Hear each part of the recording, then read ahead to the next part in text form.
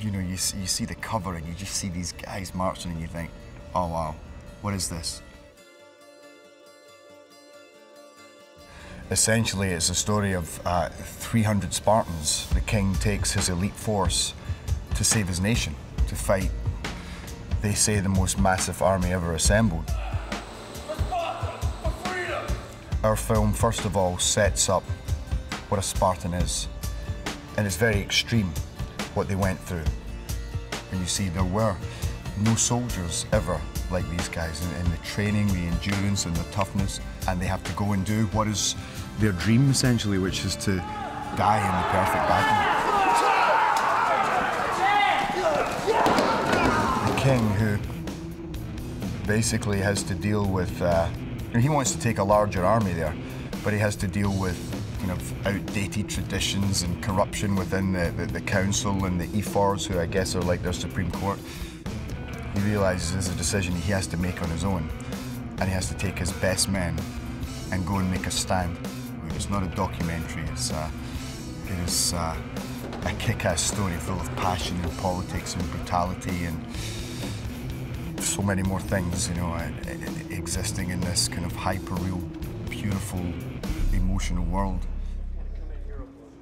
My look as the king is bigger than anybody else's, you know. I have this big, I'm a cat, he's a big persona, you know, with the braid around the head and, and, and the big beard, and I wanted to fit that body-wise. I, I wanted to be an example to the other actors and to the stunt guys that, you know, I wasn't just some guy coming in and playing the king, but I was there in every way and was going to work as hard, if not harder, than any of them to prove myself as the king, as a Spartan. I, I mean, I started three months before we even came to Montreal, and then trained for another four or five weeks here before the film even started.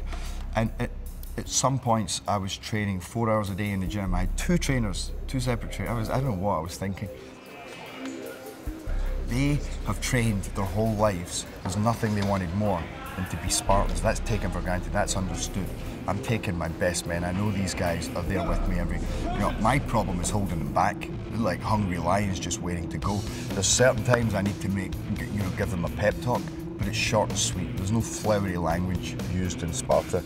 What is required to motivate your men, to understand what pushes your men and their souls and what and what drives them and, and, and the difference that that can make in being an effective force in battle. It's a great line in the movie when Xerxes says, How can you ever stand against me when I would gladly kill any one of my men for victory? And I say, And I would die for any one of mine.